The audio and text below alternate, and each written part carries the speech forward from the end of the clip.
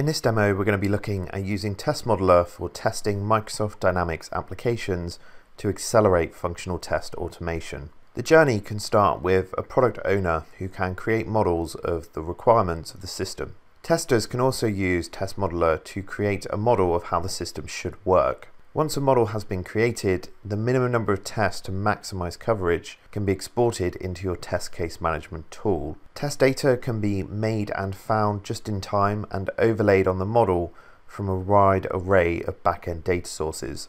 The model can also be used to export automation into numerous different automation frameworks with test data embedded inside. Scripts are automatically pushed to the source control management system and can be picked up by your continuous delivery pipeline and tooling. Within Test Modeller, we have extensive scanners and accelerators to get started with building the models, page objects, and we can also import any existing libraries you have in your framework. Once we're ready, the automation can be executed with any data dynamically resolved just in time and executed against your Dynamics 365 instance. All run results are synchronized back up to Test Modeller along with any test case management systems exported to along the way. Let's scan our Dynamics application. So the page we're going to be focusing on testing in this demo is the contact form we have here. Now what we can do is use our accelerator in the top right here, our browser extension,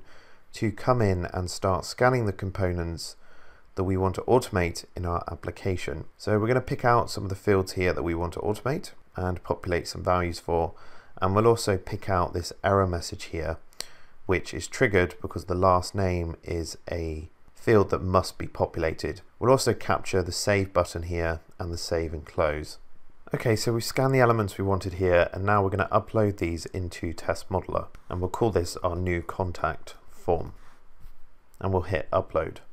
Now, if we come back over to Test Modeller and take a look in our project here, and look at modules, what we'll see is that we've got two objects here for creating a new contact form.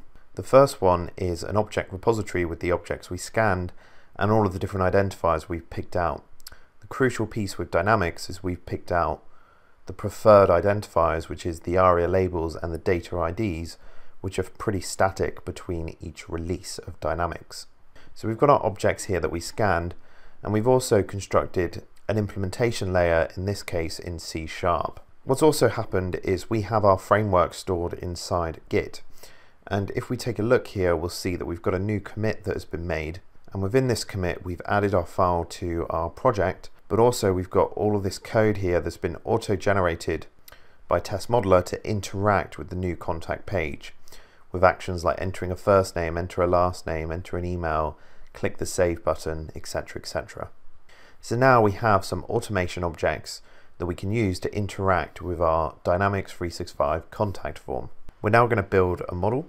Now the next piece here is we need to build a model. Now we've already built out some models for navigating to the create contact form page which we're going to use in a minute.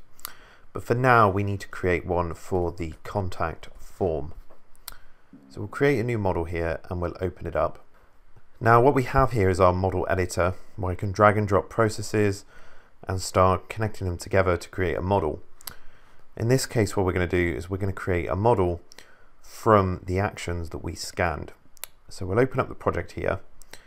And what we're going to do is we're literally just going to start coming in and selecting the actions we want to perform. So the first one is we want to enter a first name and we're then going to enter a last name. Now what we'll see here is as we've dragged in these actions, it's automatically split it for us into the different equivalence classes and the different types of data which can be input into each of these fields. Now if I enter an invalid last name and I click save, what should happen here is we should get a last name error. So we're just going to add a little assertion here to check that. And what will happen is I should end up in an error state.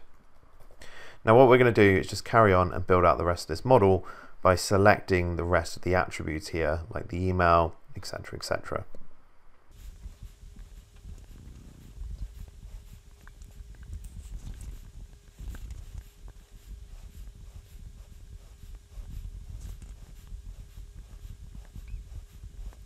Okay, so we've just finished building out our model here, and what you should end up with a model of is all of the different journeys you can go down where you end up with a successful contact created and the other routes here where you end up in some kind of error because some validation has been triggered you should end up with a visual image of how your application or component of the application works and this is what represents your model now here we're going to save this model and we're going to use it to create a much bigger end-to-end -end process so we've got our model for creating a contact form but in order to get to this page we have to go through a number of steps which we've previously modeled out.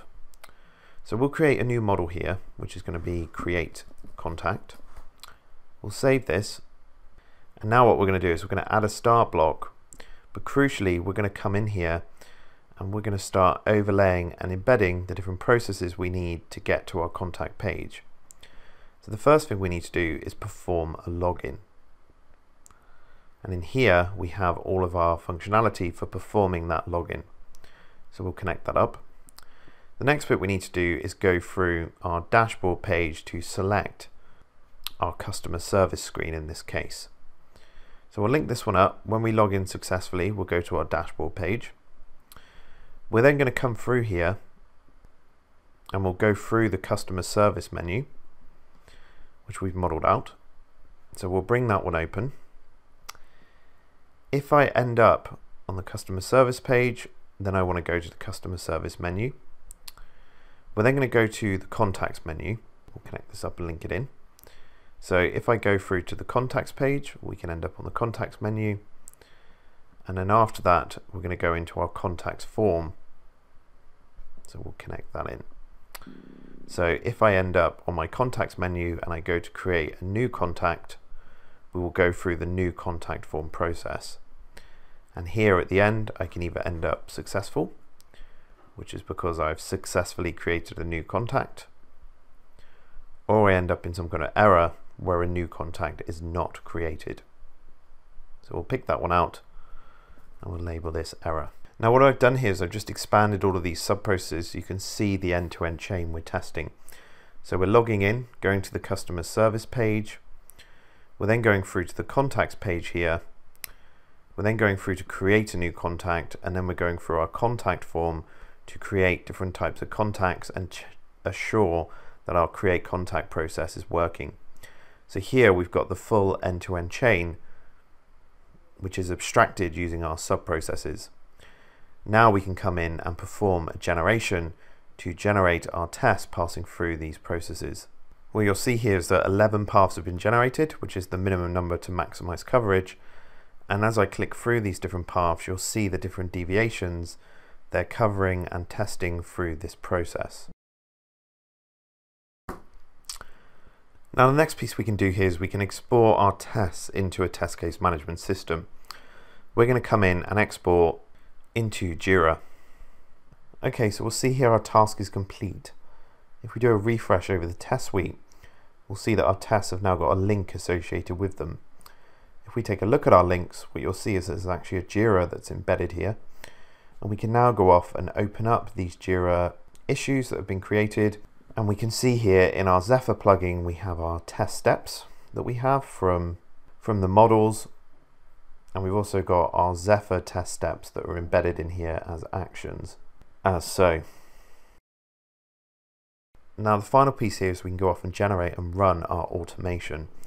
To do that, we'll come in here and we're going to select to generate our automation. We'll hit execute. And what this is going to do is resolve all of the data dependencies, generate the associated automation code, push it into our source control management system, execute it, and synchronize the run results.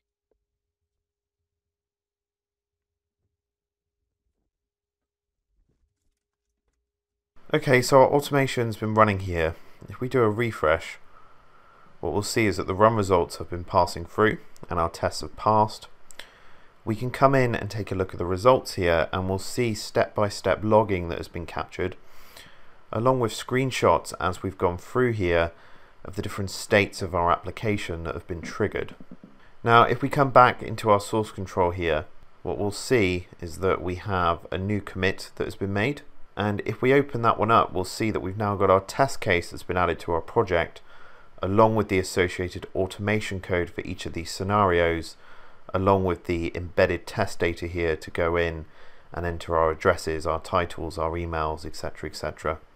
And we'll see here all of those different scenarios that have been automatically pushed and created in our open source C Sharp framework in our source control management system.